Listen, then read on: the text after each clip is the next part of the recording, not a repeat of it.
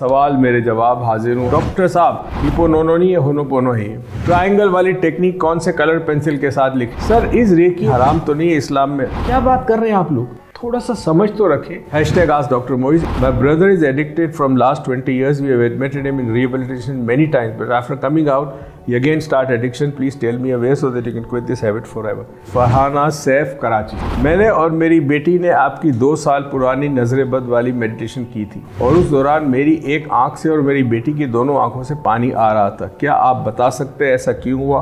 पानी निकलने की बहुत सारी वजूहत नेक्स्ट सवाल है आयशा अंजुम का। मेडिटेशन में जो टमाटो यूज़ किया था, उसका अब क्या करना है? माशाल्लाह।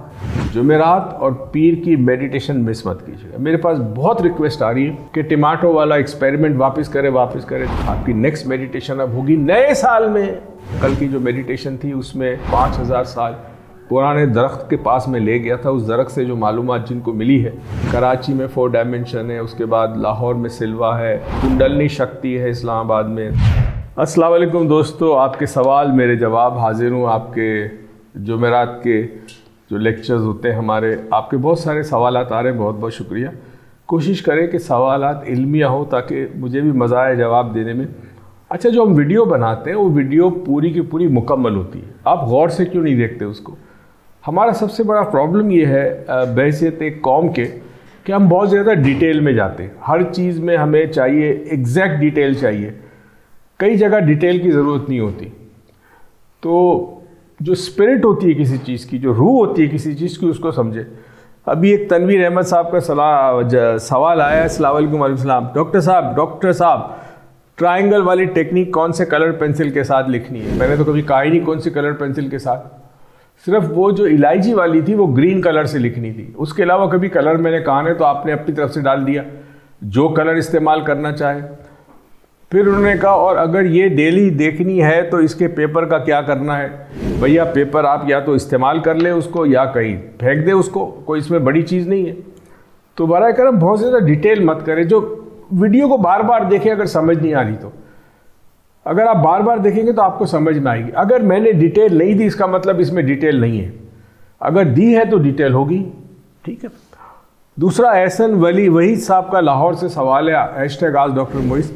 I am a reiki practitioner but I have a confusion about reiki and hooponopono hippo नोनो नहीं है होनोपोनो ही sir is reiki and hooponopono Hilal in Islam because we draw some symbols in reiki I think these symbols are not in Islamic laws and rules and there is no evidence in Islam of use this symbols also same in होनोपो hooponopono about affirmation because this affirmation are part of Hawaii and prayer which is also not belonging to Islam sir ये क्या चीज़ें कहीं हराम तो नहीं है इस्लाम में? अच्छा वो आपने सवाल पूछा वही साहब और एहसन वही साहब, और इस तरह कम से कम गलत फहमियाँ दूर हो जाती। पहली चीज़ तो ये है कि अगर अलिफ लाम मीम लिखा हो, जिसका मतलब आपको भी नहीं पता, और किसी जैपनीज़ को बताएँ तो वो क्या देखेगा? वो चाहेगा सिंबल है ये। तो जैपनीज़ में जो सिंबल है बेसिकली वो लैंग्वेज है, उसमें लिखा हुआ है। वो एक जुमला है। हम जो कि जैपनीज़ नहीं जानते तो हमारे लिए वो सिंबल लगता है। उस जुमले में क्या है? उस जुमले में लिखा क्या है? फॉर एग्ज़ाम्पल चोकोरे पहला सिंबल है, उसका मतलब है हर चीज़ जो सीधे रास्ते पर हो, सिरात मुस्तकीम का हवाला है वहाँ पे। तो अगर आपको कोई शक है तो इस्लाम ने आपको रेखी इस्लामिक तरीके से भी बता रहे सिखा रहे और उस किस्म की आयत या सूरा दे रहे जो उसके जैपनी सिंबल के बगैर आप उसको कर सकते हैं। तो आप वो कर लें अगर आपको शक है तो। दूसरा एक कॉन्सेप्ट याद रखें, और आई विश ये हमें समझाया जाता गहराई के अंदर। इस्लाम मज़हब जो है वो फितरत का है, दीन फितरत है। यानी हर चीज़ जिसका ताल्लुक कवानीन फितरत से है, वो इस्लाम है। अब आप सोचिए कि एक चीज़ हराम है, मगर किसी इंसान की जान बचाने के लिए वक्ती तौर पे वो दी जाए तो हराम नहीं है। जो इंजेक्शन आप लेते हैं, उसूलन तो वो भी उसका इस्लाम से कोई ताल्लुक नहीं है। जो दवाइयाँ आप खाते हैं, उसका इस्लाम से कोई ताल्लुक है कि कुरान में ज़िक्र है? किसी दवाई का एंटीबायोटिक का, किसी का ज़िक्र है? नहीं है। क्यों परेशान होते हैं इस किस्म की चीज़ों से? जो चीज़ इंसानी ज़िंदगी बचा सके, किसी की तकलीफ़ कम कर सके, वो हलाल है बिल्कुल इस्लाम के अंदर। इसी तरह आप एक्सरे मशीन में बैठते हैं, आप एमआरआई कराते हैं, हवाई जहाज़ में, हवाई जहाज़ के पत्ते ऊपर जो पेंट लगा होता है, आपको पता है? वो हराम है। इन अ सेंस के उसमें अल्कोहल है। मगर उस जहाज़ में बैठ के आप मक्का मदीना जाते, उम्र करते, हज करते तो हराम कैसे हुआ? जिस पेन से आप निका नामे पे साइन करते हैं, उस पेन के ऊपर जो उसकी बॉडी है, उसके ऊपर जो पेंट लगा होता है, उसमें भी अल्कोहल है। तो वो फिर हराम नहीं हुआ अगर आप अपने निका नामे पे साइन कर रहे हैं? तो क्या बात कर रहे हैं आप लोग? थोड़ा सा समझ तो रखें, क्या हलाल, क्या हराम, हमने पता नहीं चीज़ों को क्या बना दिया है। दूसरी चीज़ ये है कि जो होनोपोनो है, वो यकीन हवाई हवाई जो सिस्टम है, उसके अंदर एक दुआ है। मैंने ज़ाती तौर पर इसको स्टडी किया है और मेरे नज़दीक वो सही नहीं है। हम जो भी मांगते हैं, अल्लाह से मांगते हैं। और फिर अल्लाह के, अल्लाह अपने वसीले पैदा करता है, जिनके ज़रिए, जैसे डॉक्टर के पास जाते हैं तो डॉक्टर इलाज करता है। अल्लाह तो आके ऊपर से इलाज नहीं करता, मगर अल्लाह ने उसको वसीला बनाया आपके लिए। जो दवाई आप खाते हैं, जिससे आप ठीक हो जाते हैं, वो वसीला अल्लाह की तरफ़ से। तो अल्लाह वसीलों के ज़रिए काम करता है। ख़ुद तो आसमान से नीचे नहीं आता, या कायनात में तो वैसे तो हर जगह मौजूद है, मगर वो आके तो नहीं करता आपको। तो याद रहे कि कोई ऐसी चीज़ जो इंसान को फ़ायदा पहुँचा सके, उसकी बीमारी को ठीक कर सके, उसके दुखों को ठीक कर सके, उसको शिफा दे सके, वो अल्लाह की तरफ़ से आती है और अल्लाह वसीला करता है, पैदा करता है।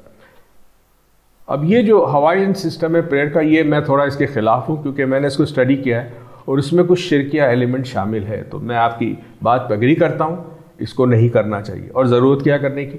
आपके पास बेतहाशा दुआएँ आपके पास बेतहाशा चीज़ें दीन ने आपको दी है, उसको करें।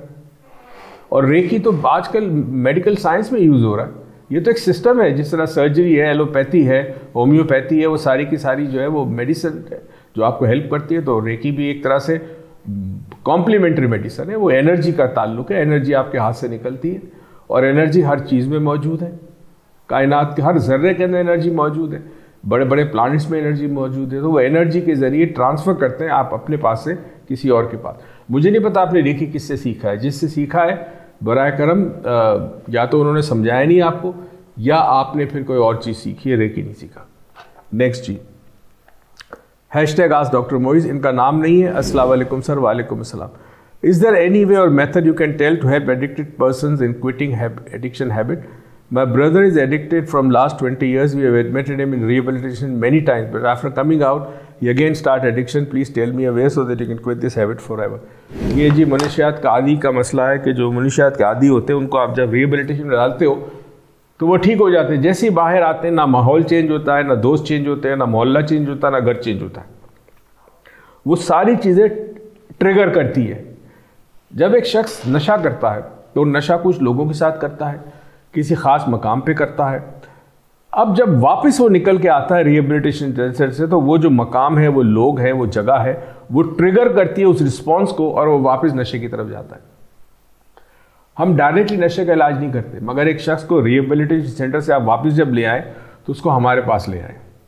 और हम उसके ऊपर कुछ ऐसी हिप्नोसिस की टेक्निक एनएलपी की टेक्निक अप्लाई करेंगे कि वो वापस नशे की तरफ़ नहीं जाएगा बिकॉज़ वो जो ट्रिगर है जिससे वो फिर नशे की तरफ़ जाता है, उसको हम डिजॉल्व कर देते हैं। तो वो ट्रिगर नहीं रहता, वो जगह जाएगा, मगर उसको एहसास नहीं होगा कि मैं नशा करूँ। रिहेबिलिटेशन अच्छा होना चाहिए बिकॉज़ रिहेबिलिटेशन क्या करता है कि खून के अंदर से ये सारे नशे की जो अज्जा है, उसको निकाल देता है। और उसके बाद वो ठीक होकर बाहर आता है। रिहेबिलिटेशन में काउंसलिंग भी होती है सब कुछ होता है। अच्छा रिहेबिलिटेशन सेंटर सेंटर जो उसमें सब कुछ होता है। मगर बाहर निकलने के बाद हम कुछ नहीं करते। अगर बाहर निकलने के बाद बच्चे के साथ आ, किया जाए प्रॉपर ट्रीटमेंट की जाए तो उम्मीद है कि वापस नशे की तरफ़ नहीं जाएगा। वैसे भी 20 साल बहुत बड़ा वक्फा है जो नशे की तरफ़ रागे हुए अच्छा जी नेक्स्ट सवाल। हैश टैग आज डॉक्टर मोइस फरहाना सैफ कराची से। मैंने और मेरी बेटी ने आपकी दो साल पुरानी नज़र बद वाली मेडिटेशन की थी। और उस दौरान मेरी एक आँख से और मेरी बेटी की दोनों आँखों से पानी आ रहा था। क्या आप बता सकते हैं ऐसा क्यों हुआ? और ये हम अगेन कर सकते हैं। पहली तो बात है कि आप इसको वापस कर सकते हैं। पानी निकलने की बहुत सारी वजूहत हैं। जब शख्स किसी ख़ास किस्म की कैफियत में होता है तो उसकी आँखों से पानी निकलता है। पानी निकलने का एक और मतलब भी है कि आपके अंदर से जो भी नेगेटिविटी है, जो मनफी किस्म के असरात हैं, वो आँखों के ज़रिए, पानी के ज़रिए बाहर निकल रहे हैं तो नथिंग टू वरी अबाउट अक्सर लोग जब ट्रांस में होते हैं हिप्नोसिस में, उनकी आँखों से पानी निकलता है इट्स परफेक्टली ओके नेक्स्ट सवाल है आयशा अंजुम का। अस्सलाम सर, वालेकुम अस्सलाम। सर, मैंने आपकी वीडियो बहुत शौक से देखती हूँ। मैं आपकी वीडियो बहुत शौक से देखती हूँ, पर सर, आप मेरे सवाल का जवाब नहीं देते। जी, मैं तो हमेशा देता हूँ। सर प्लीज़ प्लीज़ सर बता दें कि मेडिटेशन में जो टमाटो यूज़ किया था, उसका अब क्या करना है? सर मुझे आंसर दीजिएगा, माशाल्लाह। हमारे एक शागिर थे, वो क्रिश्चियन था और उसका नाम चाइनीज़ था हैरी ल्यू नाम था। उसकी चाइनीज़ रेस्टोरेंट थी फैसलाबाद में। पीपल्स कॉर्नरली डी ग्राउंड उसने ये एक्सपेरिमेंट किया था। अब जब वो टमाटर जो गल सड़ गया, वो तो उसने ज़मीन में दफन कर दिया। जो सही था, उसने अपने कुक को बुलाया, कहा, इसको चिकन मंचूरियन में डाल दो। तो जो है, टमाटर ठीक है, उसको खाने में इस्तेमाल कर ले। इसमें बताने की क्या ज़रूरत है। जो ख़राब है, उसको ज़मीन में दफन कर दे। और जो सही है, उसको खाने में इस्तेमाल कर ले। मतलब कॉमन सेंस है, इसमें कौन सी ऐसी चीज़ है? उसको संभाल के तो आप रखेंगे नहीं सारी ज़िंदगी उस टमाटर को। इस्तेमाल कर ले घर के अंदर। अच्छा जी, दोस्तों, अब ये आज के सवाल तो अब अख्ताम पजीर हुए। अगले हफ़्ते फिर हाजिर हो जाऊँगा लेसन ऑफ़ लाइफ से लाइफ के साथ और बहुत सारे हमने वीलॉग्स किए वीडियो किए, बहुत इंटरेस्टिंग किए। प्लीज़ उनको देखिएगा। जुमेरात और पीर की मेडिटेशन मिस मत कीजिएगा। मेरे पास बहुत रिक्वेस्ट आ रही है कि टमाटो वाला एक्सपेरिमेंट वापस करे, वापस करें। देखिए जी, अब तो साल एंड होने को आया है। इनशाला अगले साल किसी वक्त देखेंगे। अगर हो सका तो टमाटर वाला एक्सपेरिमेंट फिर से करेंगे। जिन्होंने मिस किया, उनकी गलती है। हमने पहले, चंद घंटे पहले एक वीडियो बनाई थी और डाली थी हमने। और उसमें कहा था कि आप लोग तैयार हो कि आज रात में आपने 11 बजे टमाटर भी रखना है, पानी भी रखना है, गिलास भी रखना है, मगर आप में से कुछ लोगों ने इस पर तवज्जो नहीं दी। तो इन देखें, हो सका तो महीने, दो महीने में उसको फिर करेंगे। अभी तो बहुत सारी मसरूफियत है। कराची में फोर डायमेंशन है, उसके बाद लाहौर में सिल्वा है, फिर पता नहीं कुंडलनी शक्ति है इस्लामाबाद में तो अभी मसरूफियतें देखेंगे। देखिए, एक बात याद रखें। मैं हमेशा जब हम मेडिटेशन करते हैं तो मैं लोगों के नाम पढ़ के बताता हूँ, उनका शुक्रिया अदा करता हूँ कि वो शामिल हुए। मगर इतने तेज़ी से नाम आ रहे होते हैं। सलामकुम उसके साथ नाम आ रहे कि मैं पढ़ नहीं सकता सबके। मगर इस चीज़ को मैं अप्रिशिएट करता हूँ कि आप अपना वक्त निकाल कर अपनी फैमिली के साथ, खासकर बच्चों के साथ इस मेडिटेशन में शामिल होते हैं। ये आपके अपने लिए भी बेहतर है और मुल्क के लिए भी बेहतर है। तो थोड़ा सा एफर्ट किया करें। जब कोई चीज़ बताई जाए तो उसको फॉलो किया करें तो आप मिस नहीं करेंगे। अपना बहुत बहुत ख्याल रखिएगा, कल की जो मेडिटेशन थी उसमें बहुत अजीब व गरीब लोगों को एक्सपीरियंस हुए स्पेशली जो पाँच हज़ार साल पुराने दरख्त के पास में ले गया था, उस दरख्त से जो मालूम जिनको मिली है उन्होंने मुझे मैसेजेस किए इन ये मैसेजेस अगली दफ़ा मैं दिखाऊँगा। अपना बहुत बहुत ख्याल रखिएगा।